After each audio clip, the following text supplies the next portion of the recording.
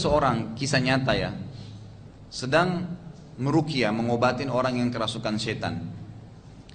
Lalu sempat orang yang baca rukia ini mengatakan a'udzu billahi samil alimi minasyaitonir rajim. Saya menjauhkan diri atas eh, dengan nama zat yang maha mendengar Allah gitu kan? Yang maha mengetahui dari setan yang terkutuk.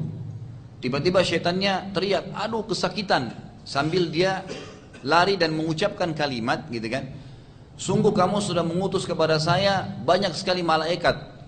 Jadi ternyata dengan membaca rajim dalam kisah ini pengalaman ini itu Allah utus malaikat yang menggebukin setan yang sedang mengganggu.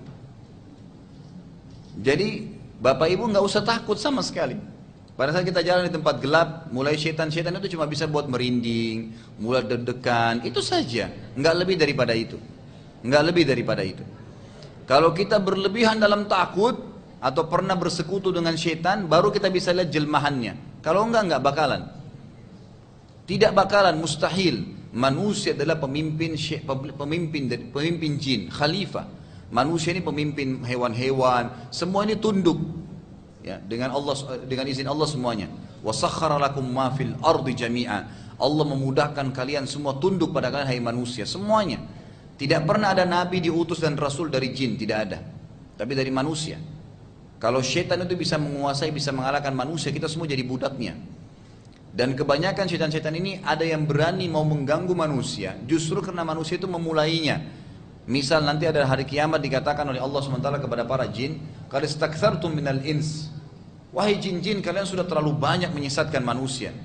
Apa jin-jin bilang? Ya Allah, manusia-manusia ini yang datang kepada kami nih sengaja datang ke gunung gelap, sengaja datang ke kuburan, wahai setan, kasih sesajen. Enggak perlu. Dia yang sengaja minta-minta sama setan. Padahal setan itu lebih bawa, di, itu di, di bawah dia, naungan dia. Manusia khalifah memimpin. Kita yang mengatur sebenarnya gitu kan, hukum Allah daripada nabi-nabi manusia. Yang akhirnya jin-jin pada ikut. Kenapa manusia minta tolong sama orang bawahannya, gitu kan? Mestinya nggak boleh. Mereka yang mereka yang dipimpin semestinya. Tapi itu yang terjadi. Akhirnya manusia jadi ketakutan.